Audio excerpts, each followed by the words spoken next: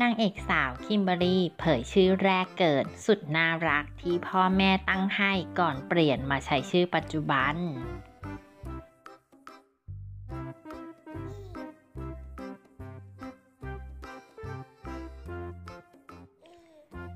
เรียกว่าเป็นอีกหนึ่งสาวสวยที่มีรูปสวยๆ มาให้แฟนคลับ ได้ชมกันแบบกระชุ่มกระชวยหัวใจในช่วง ส่วนใหญ่ที่ยังคงต้องกักตัวอยู่กับบ้านสำหรับนางเอกน้าคม คิมเบอร์ลี่แอนโวลเทมัส หวานใจของพระเอกหนุ่มหมากปริญนั่นเอง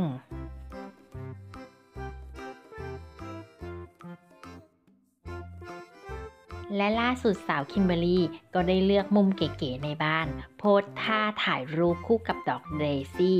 สุดน่ารักที่อยู่ในแจกันพร้อมเขียนแคปชั่นทำเอาหลายคนได้รู้อีกหนึ่งความลับว่า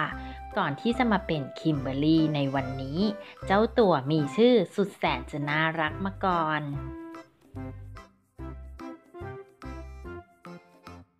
โดยระบุแคปชั่นว่า ขออนุญาตแปลเป็นภาษาไทยนะคะ พ่อแม่ตั้งชื่อให้ฉันว่าเดซี่ เดซิรี ก่อนจะเป็นคิมเบอรี่นะ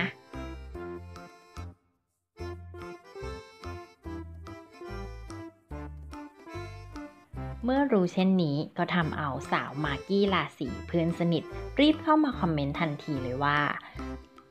เราก็เกือบได้ชื่อนี้เหมือนกันแล้วนะ มาการิต้า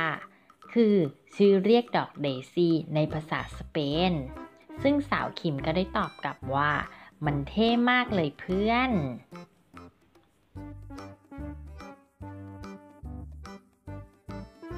นอกจากนี้ก็ยังมีสาวพลอยหอวัง แดงได้เข้ามาคอมเมนต์ถามอีกด้วยว่า จริงหรือ โดยนางเอกสาวได้ตอบกลับไปว่า ใช่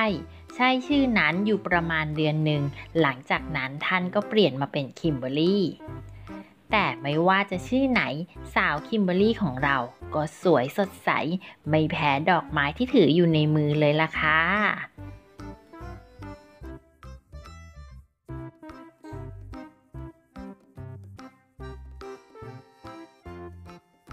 ขอบคุณข้อมูลจาก Instagram Kimberly นะคะ และเพื่อที่จะไม่พลาดคลิปใหม่ๆ อย่าลืมกดติดตามค่ะ